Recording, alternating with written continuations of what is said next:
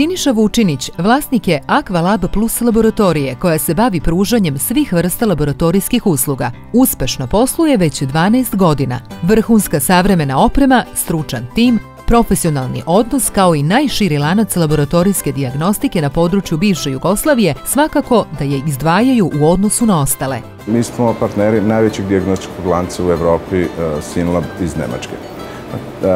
Preko našeg inopartnera Mi ovde na području Srbije pružamo preko 1200 različitih diagnostičkih metoda koji se ne rade ni u jednoj laboratoriji u Srbiji i šire.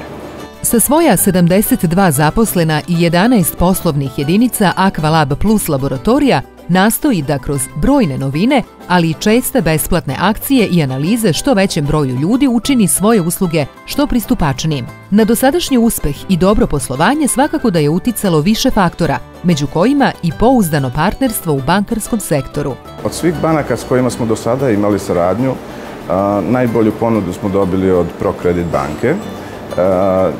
Njihovu ponudu za dugoročni kredit smo iskoristili da kupimo određene prostore za koje smo plaćali skupe zakupnine. Najniže su im procenti stope ili takozvane takse.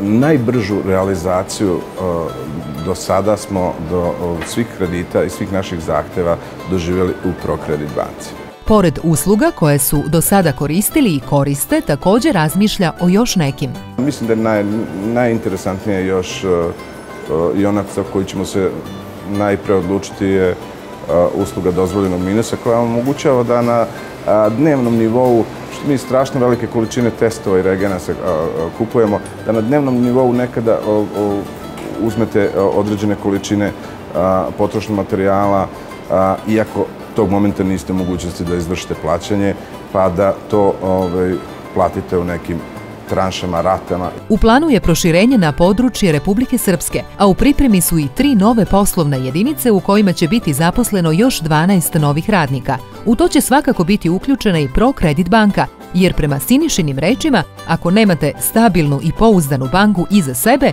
nije moguće planirati ni najmanji razvoj.